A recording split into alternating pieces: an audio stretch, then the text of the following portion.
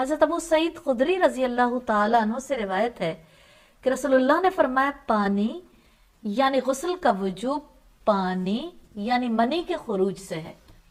इसे मुस्लिम ने रिवायत की और इसकी असल बुखारी में अलमाउ मिन अलमा बहुत ही जाम उसूल है और इसके बारे में मज़ीद वजाहत जब आगे आएगी तो आपको महसूस होगा कि रसोल्ला सल्लल्लाहु अलैहि वसल्लम जवामिल कलम थे।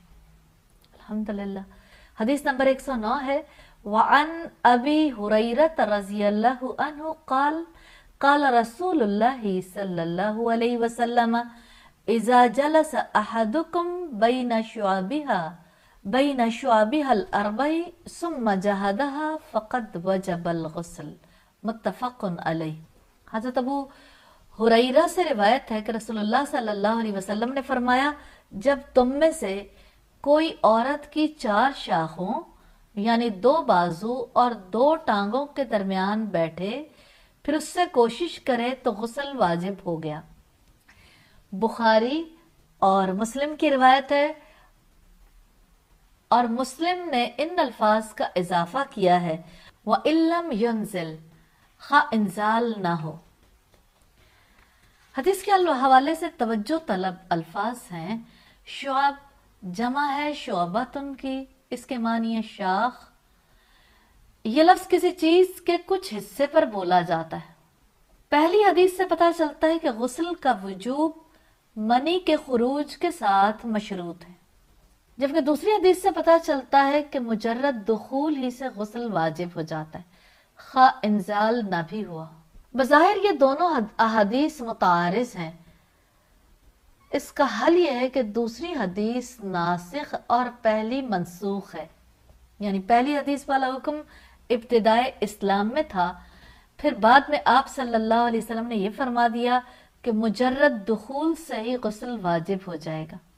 इसकी वजात हज़रत उबई इब्न काब की रिवायत में वो फरमाते हैं कि बिलाशुबा वो फतवा जिसे लोग बयान करते थे पानी का इस्तेमाल पानी, यानी मनी के खरूज से ऐसी रुख्सत थी जिसे रसोल्ला ने इब्तदाई इस्लाम में इनायत फरमाया था। लेकिन फिर इसके बाद आपने हमें मुजरद दखूल ही से गसल करने का हुक्म दे दिया था। यह रिवायत सही इबन माजा की, अबू दाऊद की है।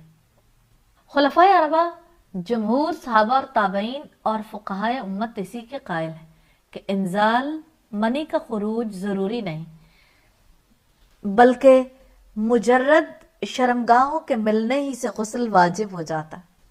इमाम नबी फरमाते हैं कि गसल के वजूब पर इजमा है, जबकि हशफा मर्द के उज्व तनासिल का वो हिस्सा, जहाँ से खतने के वक्त काटा जाता है, शर्मगाह में गायब हो जाए।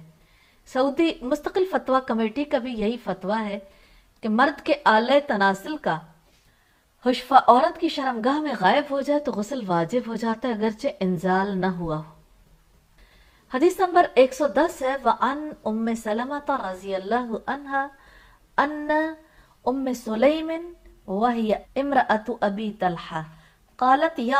रसूल अल्लाह इन अल्लाह ला यस्तही मिन हक फहल अलल मराति मिन गुस्लिन इज़ा इहतलमत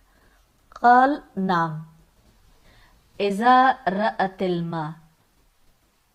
मुतफ़न हज़रत उम्म सलमा से रिवायत है कि हज़रत अबू तलहा रज़ी अल्लाह तु की बीवी उम्म सुलैम ने अर्ज़ किया अल्लाह के रसूल यकीनन अल्लाह ताला हक बयान करने से नहीं शर्माता आप बतलाइए क्या औरत को जब एहतलाम हो तो उस पर गसल वाजिब है आपने फरमाया हाँ जब वो पानी देखे बुखारी और मुस्लिम की रिवायत है।